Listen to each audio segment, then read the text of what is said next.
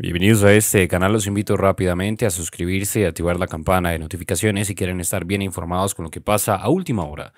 Putin acumula refuerzos y Ucrania se prepara para resistir otra gran ofensiva a casi un año de la invasión rusa.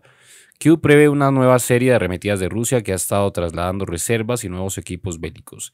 Las tropas invasoras estarán listas desde el 15 de febrero, poco antes del primer aniversario del conflicto, el viernes 24. Recuerde dejar un comentario en este video y un me gusta también para apoyarnos. Muchísimas gracias. Rusia ha estado enviando refuerzos al este de Ucrania antes de una nueva ofensiva que podría comenzar la próxima semana a lo largo de un frente en el que se han librado incesantes batallas durante meses, dijo un gobernador ucraniano. Desesperada porque llegue la ayuda militar occidental, Ucrania prevé que Rusia podría lanzar una gran ofensiva por motivos simbólicos en torno al aniversario de la invasión el 24 de febrero, que Moscú insiste en calificar de operación militar especial. La propia Ucrania está planeando una contraofensiva de primavera que para recuperar el territorio perdido, pero sigue a la espera de la entrega de los prometidos proyectiles y carros de combate occidentales de mayor alcance y algunos analistas afirman que faltan meses para que el país esté preparado. Estamos viendo cómo se despliegan cada vez más reservas en nuestra dirección. Estamos viendo cómo traen más equipamiento.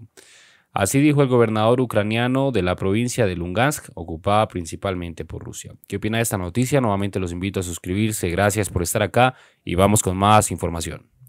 La primera pregunta que le voy a hacer no trata sobre asuntos profesionales, sino que es simplemente una cuestión humana que preocupa a millones o más bien miles de millones de personas. ¿Cuándo va a acabar todo esto? No es que sea lo único que me preocupa de momento, puesto que la tarea principal de nuestros diplomáticos y, en primer lugar, la tarea principal de nuestros soldados, de nuestros militares, consiste en garantizar nuestra seguridad, proteger los intereses de nuestra cultura y los de las personas que quieren ser parte integral de la cultura rusa. Probablemente toda esa gente no se pregunte cuándo acabará todo esto. Su motivación es realizar su trabajo de manera eficaz, rápida y sin pérdidas, o más bien con pérdidas mínimas. Necesitan tanto el apoyo moral como el político de nuestra comunidad. Y si llegamos a aclarar los hechos desde el punto de vista de los juegos geopolíticos, esto tal vez permita que la comunidad internacional por fin se dé cuenta de que hay que ponerle fin ya a esto. Y todo esto acabará solo si observamos que se detienen los intentos, o más bien la obstinada línea de actuación del mundo occidental liderado por Estados Unidos, y este cesa en las amenazas de su hegemonía. Así que de momento actuamos de la misma manera que nuestros socios occidentales. Según ellos, la victoria se tiene que alcanzar en el campo de batalla. Ellos fueron los que se retiraron de las negociaciones, obligaron al régimen de Kiev a abandonar las negociaciones aunque en aquel entonces, a finales de marzo, se veía posible brindar una solución política al conflicto. Pero a Kiev no le dejaron hacerlo, y desde entonces nadie ni siquiera ha intentado convencer al régimen de Kiev de la necesidad de realizar negociaciones. Nadie ni siquiera se opuso a la orden de Zelensky que prohibía emprender negociaciones con la Federación de Rusia. Nadie lo criticó cuando excitado afirmó en repetidas ocasiones que no sabía quién toma las decisiones en Rusia y que no tenía con quién discutir los asuntos, si es que se llevaban a cabo esas negociaciones. Desde un punto de vista freudiano, él se percibe a sí mismo como una persona incapaz de tomar decisiones propias y lo manipulan. De ahí que desplace su carga de responsabilidad. Como una proyección. Sí, todos queremos ponerle fin, pero aquí el factor importante no es el tiempo. Lo que importa aquí es el factor contenido, el factor de la calidad de los resultados que proporcionaremos a nuestro pueblo. A ese pueblo que quiere seguir formando parte de la cultura rusa y al que el régimen de Kiev lleva muchos años privando de todo lo ruso con la ayuda de Occidente. Ya conocemos las leyes que se adoptaron con Poroshenko y después con Zelensky. La prohibición de la enseñanza del ruso, los medios de comunicación rusos, los medios de comunicación ucranianos en ruso, Todos ellos fueron clausurados. Y eso por no hablar de las detenciones de diputados que de alguna forma expresaron el deseo de llegar a un acuerdo con la Federación de Rusia. Después se tomaron decisiones que permitieron imponer sanciones administrativas, multas a quienes no usasen el ucraniano en la vida cotidiana, en las tiendas, en las clínicas. Pues bien, he leído que desde hace poco tienen una especie de defensor del pueblo que se encarga de defender el idioma estatal. No recuerdo su apellido, pero esta persona presentó ayer o anteayer una iniciativa para prohibir la comunicación interpersonal en ruso. Es decir, un marido y su mujer toman el té juntos en la cocina mientras charlan en ruso y alguien, como se dice vulgarmente, se chiva pues pueden llegar a exigir que se abra un caso penal contra ellos. Qué buenas perspectivas para la cúpula del régimen. Pero lo más interesante de todo esto es que es bastante hipócrita.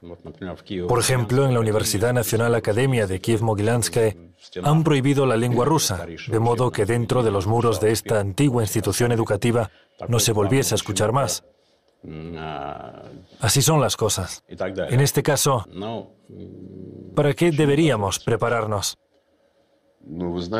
Bueno, partimos de realidades objetivas, especialmente aquellas realidades que están consagradas en nuestra legislación, en nuestra Constitución. Cuatro nuevos territorios, dos repúblicas populares y dos regiones se incorporaron a la Federación de Rusia mediante referéndum. A este propósito no hay nada que discutir. El hecho es que Occidente no logra relajarse y, como es común en los cuentos de hadas, con cada paso se internan más y más en tierras pantanosas, llenándose de fango. En mi opinión, esto desempeña sin duda un papel importante en el curso de la operación especial. Porque si ahora pretendemos apartar la artillería de las Fuerzas Armadas ucranianas a una distancia que no suponga una amenaza para nuestros territorios, Cuantas más armas de largo alcance se suministren al régimen de Kiev, más lejos habrá que alejarlas de los territorios que forman parte de nuestro país. Y eso supone una escalada. Tiene usted toda la razón. Es como un efecto bola de nieve. Todo empezó con unos cascos para el ejército ucraniano. Luego llegaron las armas ligeras. Ahora ya se está hablando de aviones. Scholz jura que eso nunca ocurrirá.